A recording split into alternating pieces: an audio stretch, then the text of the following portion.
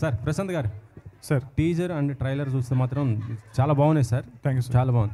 ఇప్పటివరకు ఈ రెండిట్లలో మీరు తేజ గారిని చూపించారు. కానీ హనుమాన్ ఆయన ఏం చేయబోతున్నాడో ఆయనది ఏం చూ- ఏ విధంగా చూపించబోతున్నారు? అదే సస్పెన్స్ సార్ సినిమాలో.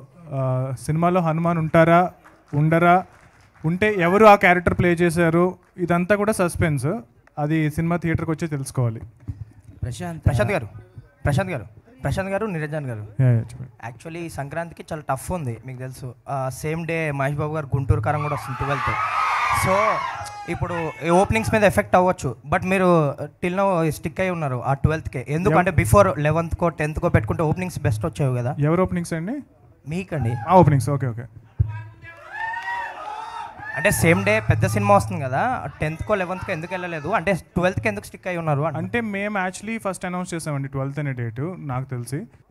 సో యాక్చువల్గా మేము యాక్చువల్లీ ట్వెల్త్ ఖాళీగా ఉంది అనుకునే మేము ట్వెల్త్ అనౌన్స్ చేసాము. సో మేము అనౌన్స్ చేసిన తర్వాత మేము ఆల్రెడీ హిందీలో అక్కడ ఇక్కడ అంతా అగ్రిమెంట్స్ మొత్తం అన్నీ అయిపోయినాయి. సో మేము తర్వాత మళ్ళీ పు- మారడానికి కూడా అవకాశం లేదు.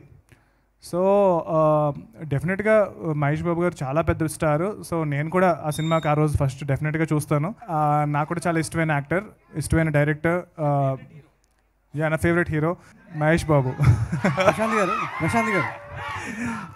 సార్ బేసికల్గా మా cinema first one two three days collections మీద డిపెండ్ అయ్యే సినిమా కాదని మేము నమ్ముతున్నాం సార్. సో మా సినిమా అంటే నే చాలా ఎక్కువ రోజులు వెళ్తుంది అన్న నా నమ్మకం చాలా ఎక్కువ ఉంది. మాకు కానీ ప్రొడ్యూసర్ కానీ సినిమా చూసుకున్నప్పుడు. సో ఈ సినిమాని ఒకసారి వచ్చి చూస్తారు మళ్ళీ వచ్చి చూస్తారు హనుమంతుడి కోసం మళ్ళీ వస్తారు.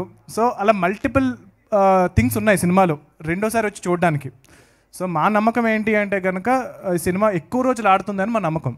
సో మేము డే వన్ ఎన్ని థియేటర్స్లో రిలీజ్ చేస్తామంది క్వశ్చన్ కాదండి. ఫస్ట్ వీక్ అన్నది క్వశ్చన్ కాదు. సో ఎన్ని రోజులు మా ప్రయాణం సాగుతుంది అన్నది మా క్వశ్చన్ సో మా నమ్మకం మేము హనుమంతుడిలాగా చాలా చిన్నగా మొదలవచ్చు. బట్ హనుమంతుడు ఎలాగైతే ఎంత పెద్ద ఆయన అవ్వగలరో మా సినిమా కూడా ఆ రేంజ్కి వెళ్తుందని మేము నమ్ముతున్నాం.